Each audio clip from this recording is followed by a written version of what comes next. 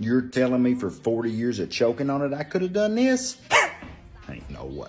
I've been under the weather the last few days and I've got some amoxicillin and I've got some Alka-Seltzer pills.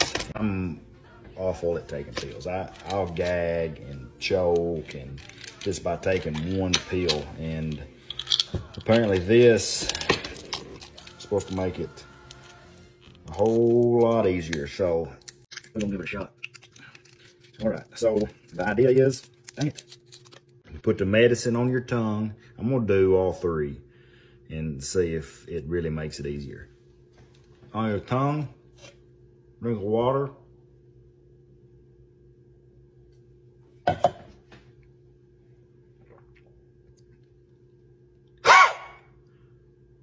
wow.